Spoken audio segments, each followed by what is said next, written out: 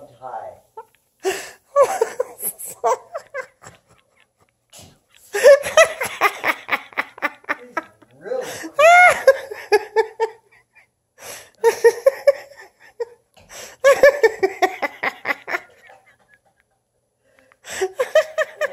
He's about to go again. Watch.